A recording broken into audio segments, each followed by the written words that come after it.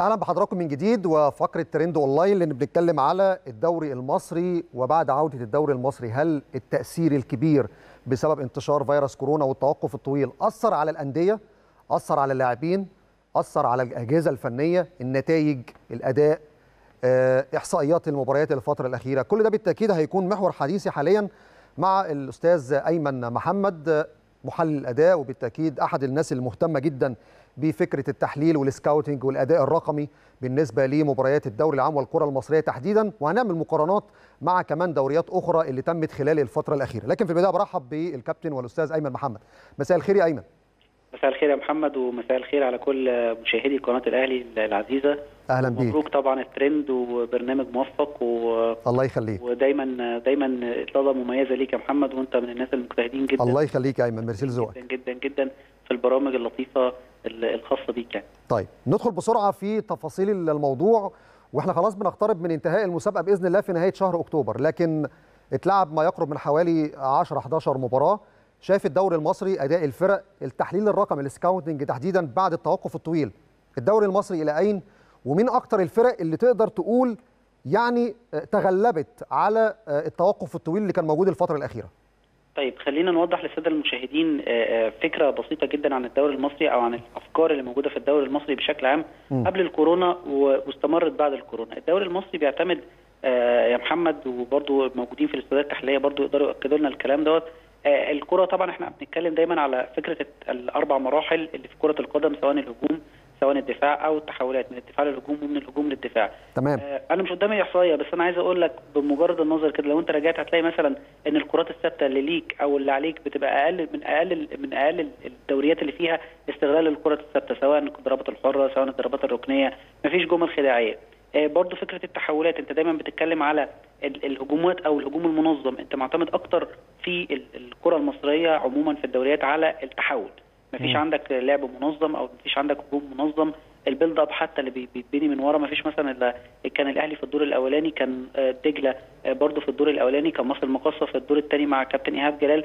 هي دي الفرق اللي بتعتمد أكتر على فكرة ال build up وبالتالي أنت معتمد أكتر على أسلوب اللعب المباشر اللي هو إنك أنت بتحاول توصل بالكوره للمناطق لل golden zone أو لل zone 14 اللي هي المناطق المؤثرة في الملعب وبتحاول تسجل من خلالها بشكل مباشر.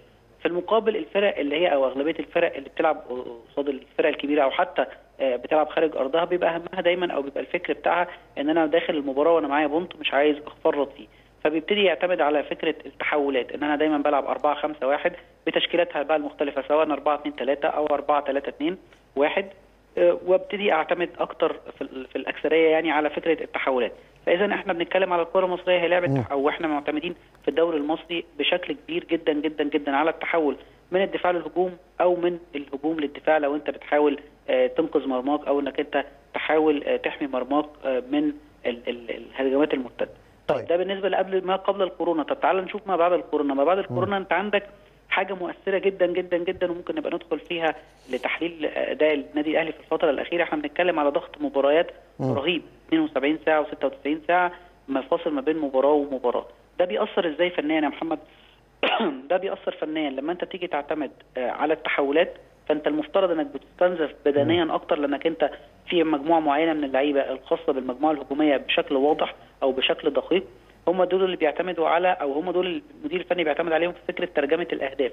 وبالتالي أنت بتعمل ستريس أكتر على المجموعة الهجومية، المجموعة الهجومية اللي هي راس الحربة الثلاثه اللي تحتيه مع واحد من من نص الملعب سواء ده كان إحنا بنلعب في 4 2 3 1 أو حتى في 4 3 3 فأنت بتتكلم إن الضغط الهجومي تقريبا تقريبا بيبقى متوقف على حوالي خمس لاعبين.